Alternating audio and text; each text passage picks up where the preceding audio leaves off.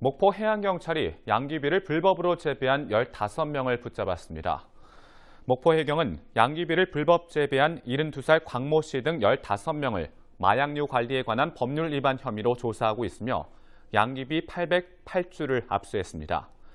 양귀비를 밀경작하거나 허가 없이 대마를 재배할 경우 관련 법률에 따라 5년 이하의 징역이나 최대 5천만 원의 벌금형에 처해집니다.